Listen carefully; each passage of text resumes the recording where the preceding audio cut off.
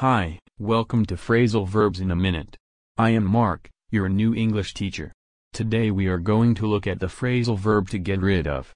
This phrasal verb means to do away with something. Here I'll give you some examples of the ways we use to get rid of.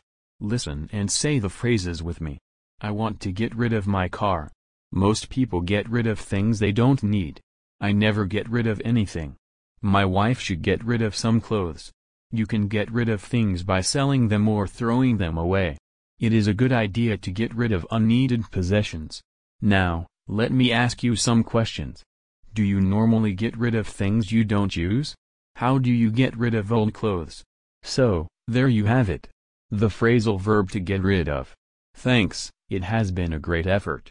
Keep on working, enjoy your English with me. Catch you in the next class.